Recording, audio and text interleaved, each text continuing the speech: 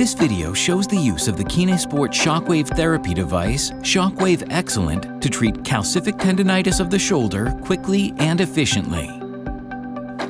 After a quick assessment of the pathology and the tendon affected, the pain area to be treated is determined. Using postural aids or cushions, we ensure that the patient is in a comfortable and suitable position for treatment, and then apply the gel to the skin of the affected area.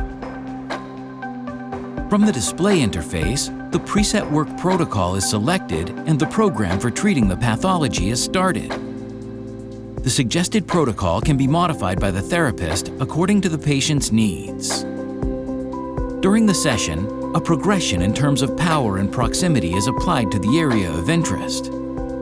With the first 500 strokes, through a series of horizontal and vertical strokes, the tissues to be treated are prepared, raising the threshold of pain and tolerability, and then gradually approaching the identified point through spiral movements. Finally, the affected point is treated by varying the angles of the headpiece several times until the end of the treatment strokes.